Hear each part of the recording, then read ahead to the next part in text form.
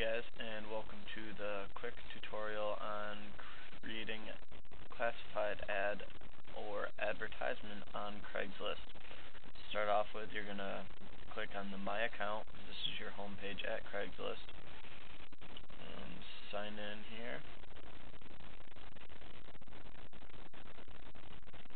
And after signing in you're going to hit this little Craigslist button up there and you'll see it return you to the home page, but this means you'll be logged in. You'll choose to go to the Post to Classified section, and for small businesses, which is what I personally use it for, you go down to Service Offered, and Small Biz Ads, just right here.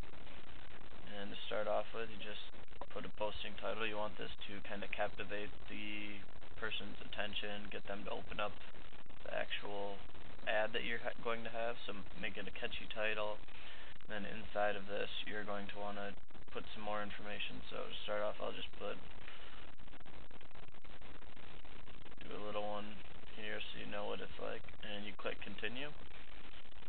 And what's going to happen is you're going to have to clarify that it will be posted there.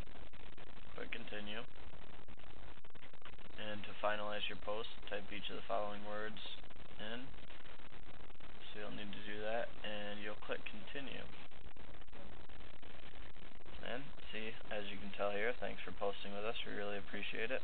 And a copy of your ad has been emailed to you and should be live pretty soon.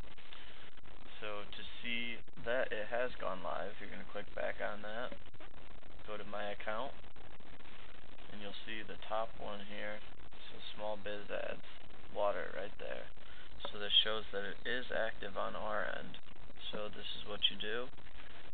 Fairly straightforward. If you have any questions, feel free to ask, and I hope this helps you out.